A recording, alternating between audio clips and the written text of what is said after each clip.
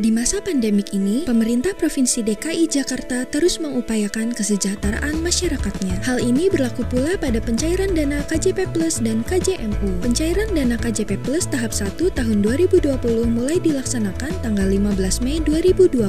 Terdapat beberapa perubahan skema terkait pencairan dana KJP Plus dan KJMU di tengah pandemi ini untuk menghindari kerumunan. Di antaranya, pencairan dana rutin tetap dilakukan per bulan seperti biasa, sedangkan pada dana berkala tidak lagi dicairkan per semester tetapi akan diterima per bulan.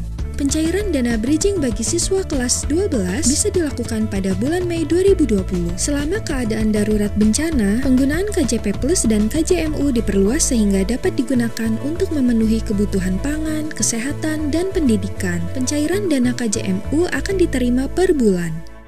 Berikut merupakan jadwal pencairan dana KJP Plus dan KJMU tahap 1 tahun 2020 berdasarkan tingkatan. Di antaranya, jenjang SD atau sederajat mulai tanggal 15 Mei 2020, jenjang SMP atau sederajat mulai tanggal 18 Mei 2020, jenjang SMA atau sederajat, serta KJMU mulai tanggal 20 Mei 2020. Para penerima KJP Plus dan KJMU yang sudah memiliki aplikasi Jack One Mobile bisa memantau dana masuk melalui handphone masing-masing sehingga ter terhindar dari kerumunan mengingat saat ini masih dilaksanakan pembatasan sosial berskala besar atau PSBB.